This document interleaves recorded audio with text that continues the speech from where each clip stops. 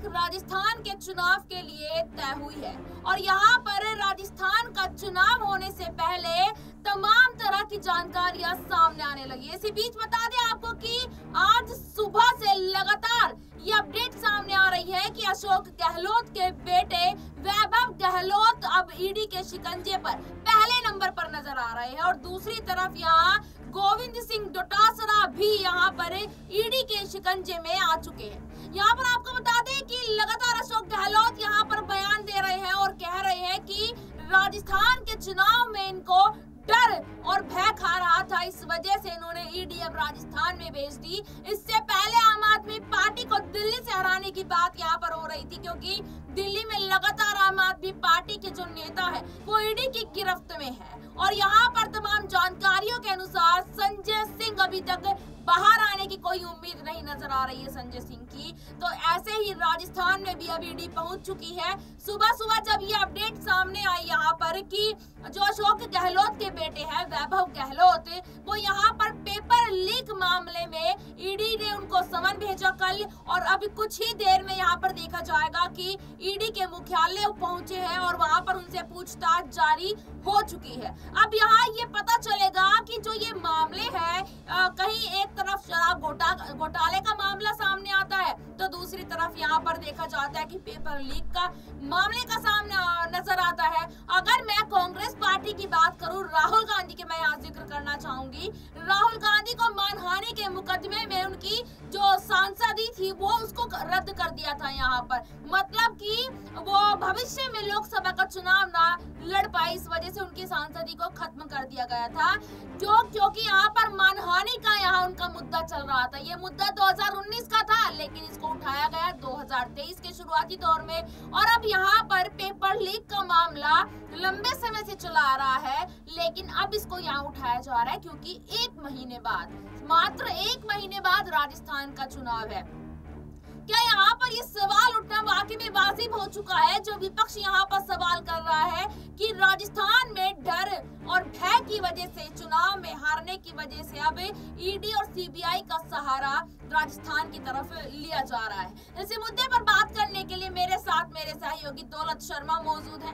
दौलत से हम जानना चाहेंगे क्योंकि सुबह से लगातार वो खबरें और अपडेट दे रहे हैं राजस्थान में क्या और कैसी तस्वीरें सामने निकल कर आ रही है?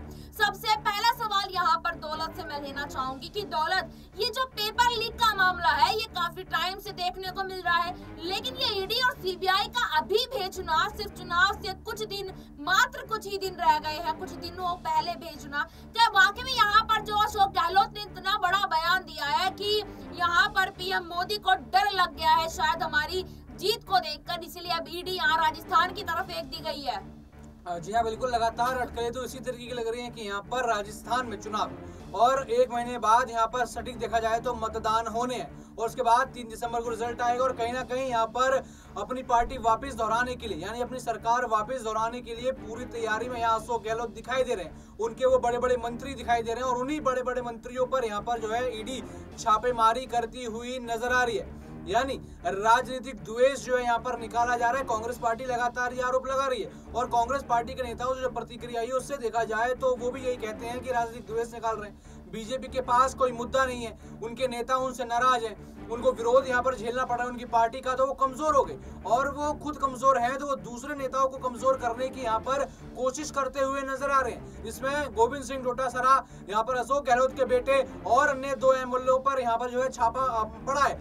जो बड़ी दावेदारी यहाँ पर राजस्थान चुनाव में पेश कर रहे थे। और अब कहीं ना कहीं देखा जाए तो यहाँ पर बीजेपी के रास्ते खुल गए क्योंकि अगर यहाँ बड़े बड़े नेता अगर फंस जाते हैं, और बात कही जा रही है कि अशोक गहलोत भी जल्दी इसी शिकंजे में आ सकते हैं। ईडी सी ईडी यहाँ पर उनके ऊपर बड़ी जाँच कमेटी यहाँ पर बिठा सकती है। तो देखा जाए तो पूरी तरीके से यहाँ पर कांग्रेस की राजनीति जो है राजस्थान में खत्म होती हुई नज़र आएगी। और ये पूरी राजनीति संभालते संभालते कांग्रेस कहीं ना कहीं चुनावों पर ध्यान नहीं दे पाएगी। यहाँ पर राहुल गांधी भी लगातार आते रहते हैं रैलियाँ करने। मल्लिकार्जुन खड़गे लगातार रैलियाँ करने आते रहते हैं और प्रियंका गांधी को भी हमने देखा है। लेकिन अगर यहाँ पर चुनाव से पहले इस तरीके के प्रपंच होंगे तो बिल्कुल यहाँ पर पार्टी जो है उलझ जाएगी। और इसका फ़ायदा बीजेपी लगातार उठाती हुई नज़र आएगी। और ये भी कहा जा रहा है कि जहाँ जहाँ चुनाव वहाँ वहाँ ईडी जो है, पहुँच जाती है। और ये हमने वाकई देखा है कि यहाँ पर हम देख सकते हैं कि 2023 से पहले यहाँ पर अरविंद केजरीवाल और उनकी पार्टी पे किस तरीके से खंजा कसा गया है, उनके तीन जो टॉप के नेता हैं यहाँ पर सत्येंद्र जैन, मनीष सिसोदिया और अब संजय सिंह, राज्यसभा सांसद। उनको तक यहाँ पर घेरा जा रहा है, जिनकी तैयारी थी कि 2024 में बीजेपी को कड़ा जवाब देंगे। बीजेपी की सत्ता हिला के रख देंगे, लेकिन उन सत्ता हिलाने वालों को यहाँ पर जो है जेल में लगातार डाला जा रहा है। उनको लगातार ईडी, सीबीआई का डर दिखाया जा रहा है। ये बात कहीं ना कहीं सही साबित होती हुई नज़र आ रही है। और बयान भी नेताओं के कुछ ऐसे ही आ रहे हैं। और अब यहाँ पे देखा जाए तो सचिन पायलट भी इसके ऊपर कहीं ना कहीं बड़ा खुलासा करते हुए नज़र आ सकते हैं। अशोक गहलोत ने प्रेस कॉन्फ्रेंस करी और यहाँ बताया कि ईडी जो है यहाँ पर उसका इस्तेमाल किया जा रहा है। बीजेपी बखूबी जान गई है कि ईडी का इस्तेमाल कैसे किया जाए, कैसे विपक्षी नेताओं का हौसला गिराया जाए। तो बिल्कुल राजस्थान चुनाव में जीत के लिए बीजेपी के पास शायद यही एक ऑप्शन बचा है। लोग तो यही कह रहे हैं विपक्षी पार्टियाँ तो यही कह रही है। अब देखना होगा कि इस बहाने से, इस फॉर्मूले से बीजेपी आखिर राजस्थान चुनावों में कहाँ तक जाती है। देखिए, बिल्कुल यहाँ पर बीजेपी राजस्थान के चुनाव में कहा तक जाती है? राजस्थान के साथ साथ चार राज्यों के और चुनाव है।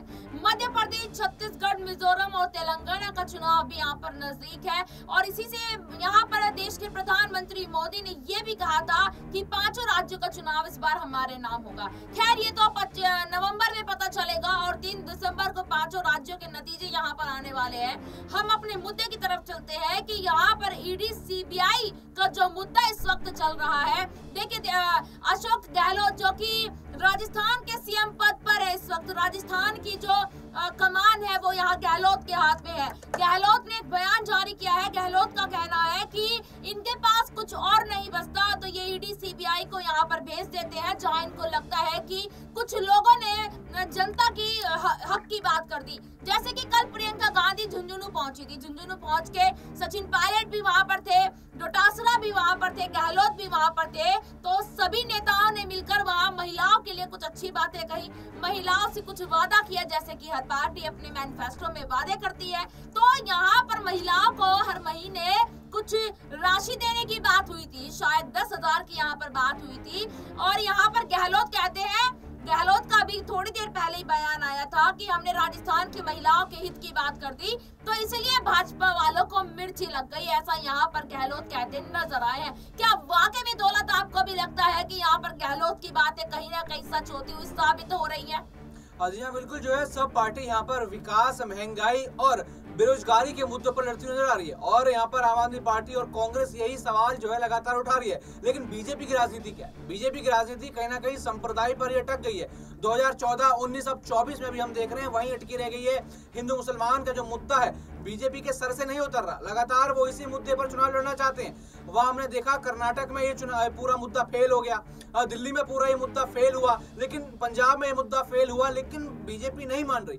बीजेपी अपने इसी मुद्दे पे चल रही है। लेकिन अगर ये मुद्दा नहीं चलता तो यहाँ पर ईडी सीबीआई का जो है, जो चक्रव्यूह यहाँ पर बनता है, वो कहीं ना कहीं उसमें लोग फंसते नज़र आते और बात यहाँ पर अशोक गहलोत ने कही कि हमने महिलाओं की बात करी, विकास की बात करी, बेरोजगारी की बात करी, और ये जो प्रश्न है ना, ये कहीं ना कहीं बीजेपी और बीजेपी के नेताओं को बुरी तरीके से चुपते हैं। और ये सवाल लगातार उनको चुभ रहे हैं। और यही इसी चीज़ की टीस है उनको कि यहाँ पर जो लोग हैं, आखिर कैसे हमारे सामने विकास की बात कर रहे हैं? जो अगर बड़े काम कर रहे हैं, वो तो मोदी जी करेंगे। उनकी फ़ोटो खींचेगी, उनके नेताओं की फ़ोटो खींचेगी, दूसरे लोग ऐसी बात कैसे कर सकते तो कहीं ना कहीं ये बात खटकती है। और यहाँ पर बीजेपी इस तरीके की एक्शन लेती हुई नज़र यहाँ पर आती है। लगातार उनके ऊपर यही आरोप लगते हैं, जिस तरीके से पूरी प्रपंच यहाँ पर चलता है, पूरी तरीके से प्रक्रिया यहाँ पर चल रही है। तो बीजेपी पर सीधे सीधे सक जाता है कि कहीं ना कहीं चुनाव जीतने के लिए, कोई और टेक्निक यहाँ पर अपनाई जा रही है। बिल्कुल, यहाँ पर चुनाव जीतने के लिए इस राजनीति में कुछ भी हो सकता है और यहाँ पर बता दें आपको कि राजस्थान की कमान इस बार कौन संभालेगा? इसी बीच आपको बता दें कि गोविंद सिंह डोटासरा का एक वीडियो सामने आया है। उस वीडियो में वो ये कह रहे हैं कि ईडी सिर्फ़ और सिर्फ़ अपना काम कर रही है। हमें किसी चीज़ से डर नहीं लगता, जो सच है वो सामने आ जाएगा। तो दौलत एक आखिरी सवाल आपसे लेना चाहूँगी। उसके बाद अपने दर्शकों को यहाँ पर वो वीडियो दिखाना चाहेंगे। हमें क्या वाकई में गोविंद सिंह डोटासरा कह रहे हैं कि हमें डर नहीं लगता है? तो क्या वाकई में कांग्रेस को कोई डर नहीं है?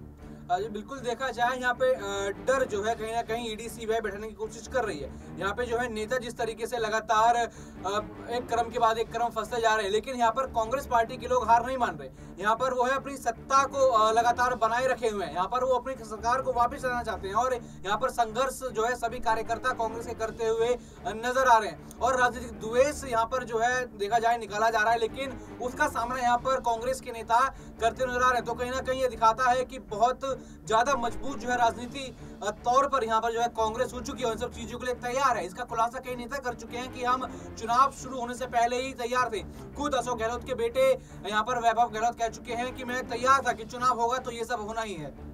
तो मतलब कि यहाँ पर ये मान लेना चाहिए कि जितने भी राज्यों में यहाँ पर कांग्रेस या आम आदमी पार्टी की सरकार है बेशक चाहे दिल्ली भी क्यों ना हो तो यहाँ पर चुनावों से पहले ईडी और सीबीआई का आना तय है। ऐसा यहाँ पर तमाम नेताओं का कहना है। तो यहाँ पर गोविंद सिंह डोटासरा ने आखिरकार क्या कहा जनता को? तो सबसे पहले आप ये वीडियो देखिए। खबर हम आपको देने जा रहे हैं, वो भी लाइव फ़िलहाल सीकर गोविंद सिंह डोटासरा के घर पर ईडी की कार्रवाई की सूचना मिली है और हम फ़िलहाल वहाँ घर के सामने खड़े हैं।